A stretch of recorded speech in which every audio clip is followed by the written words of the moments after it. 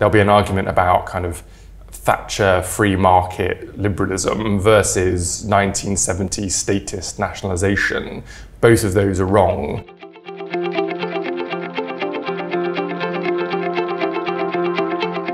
I think there's a political reluctance, and a lot of the political debate about how we deliver transformative change is often based in the past and not the future.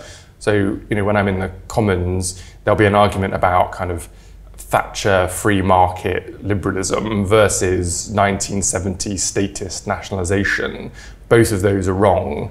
Uh, there is a role for a modern strategic state, probably with more devolution to local and regional government and a new partnership with the private sector that needs to be formed in order to deliver the scale and pace of change required.